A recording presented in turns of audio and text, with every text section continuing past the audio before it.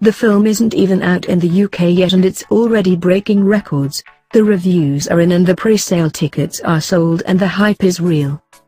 Now, Black Panther has become the first Marvel movie to feature on the cover of Time magazine. With a rare 100% rating on Rotten Tomatoes, critics are calling it a triumph. The rave reviews are reflected in the pre-sale tickets which outstripped Captain America, Civil War as ticketing site Fandango's best-selling Marvel title in the first 24 hours. It's hardly surprising, considering Black Panther was voted as one of the year's top two most anticipated movies, ranking second only to Marvel's Avengers, Infinity War which opens on May 4. Chadwick's Boseman, who portrays the new king of Wakanda, T'Challa in the epic narrative, has been featured on the front cover of America's most prestigious magazine publication to talk Black Panther and equal representation. Based on Jack Kirby's 1966 comic, the movie is a long overdue celebration of African culture, heritage and heroes featuring Marvel's first ever predominantly black cast.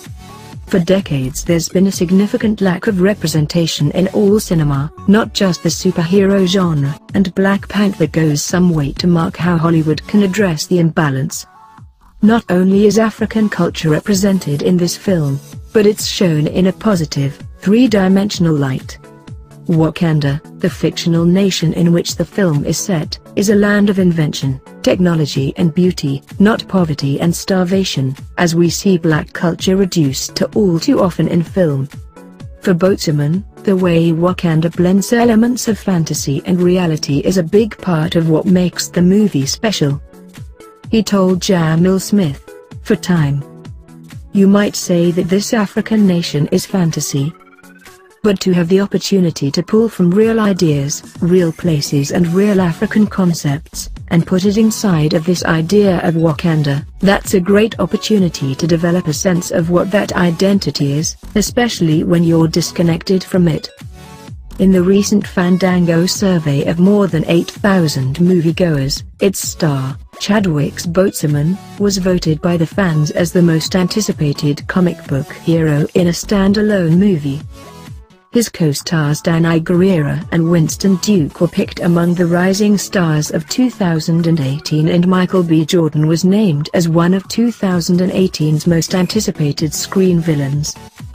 Despite the challenges he faces when T'Challa's Metals King is tested, outside of the fictional realms of the Marvel comic universe, there's no knocking this character off his top spot. Not with those mad feline skills of balance and stealth, anyway. Black Panther arrives in UK cinemas February 13th.